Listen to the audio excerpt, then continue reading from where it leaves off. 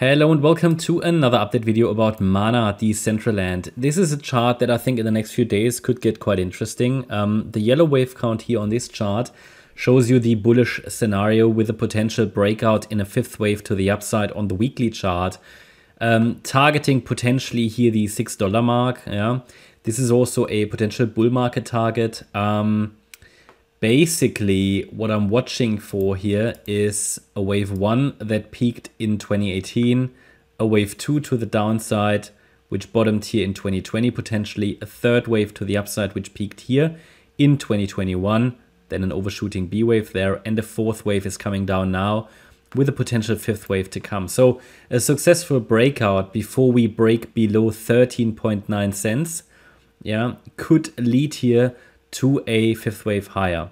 Um, key or point why I highlight this could become interesting in the next few weeks is because it's approaching the 38.2 retracement level, which is the 25 cent level, which is the ideal target for a fourth wave after a third wave rally. Yeah. So we're measuring here the length of the third wave, gives you the, the retracements, and this is an ideal target for a fourth wave. So it's approaching the support region. It's got a descending trend line, potentially breakout point.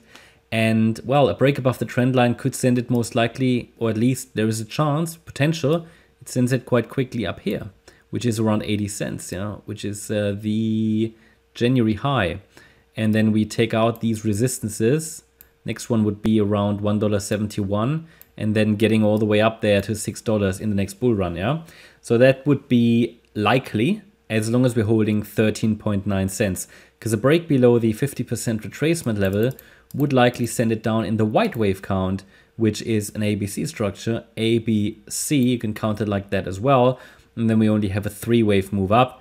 And the problem is we would then have a wave one to the downside, a corrective move, which means if the next move up is corrective, that's going to be a problem. Or if the wave 1 here in white breaks more directly below 13.9 cents, also a problem, then I would lean towards the white wave count.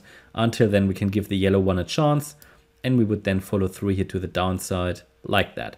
So this is a uh, bullish scenario. Just want to give you an idea of the weekly chart here.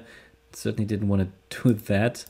Uh, okay, yeah, wanted to give you an idea of the weekly chart targets for the next bull run potentially and I will put this video into our long-term video playlist.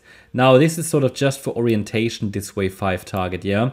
Um, it is basically a key Fibonacci level up there around $6 and the B wave high. So important would be that in the fifth wave it actually goes above the third wave high, which was here at around yeah $1, $1.70. Um, so it could extend quite a bit. But again, the condition is it's holding the 13.9 cent level.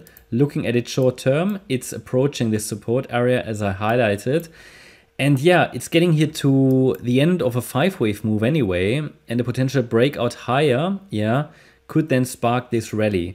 But again, we first need to see how it's reacting here to the 25, 26 cent range, which is the first cluster of support. And if it breaks below that, we had another level of support around 20.5 cents. This is a Fibonacci extension level we determined in previous videos. And below that, 13.9 cents. So these are the key levels below 13.9. Again, I have nothing bullish really on this chart. Yeah, um, and just be aware that really all the main pivot between a rally, a fifth wave rally yeah, on the larger time frame um, to basically new highs or at least, well, potentially new all-time highs, but at least new highs. That's the pivot is 15 point is the 13.9 cent level. The pivot between that rally and the breakdown to completely new lows and potential death for this chart. Yeah? Um, at least I have nothing bullish left below 13.9 cents. Now there is still decent space. It can still drop another, yeah, basically 50%. So hopefully that will be enough to, to protect it, enough buffer. Um, but ideally it doesn't even drop much lower. That's my update about Mana. I hope you liked the update. If you did, please hit the like button, leave a comment and subscribe. And if you really like the content, then please check out the channel membership. Thanks a lot for watching. Bye bye.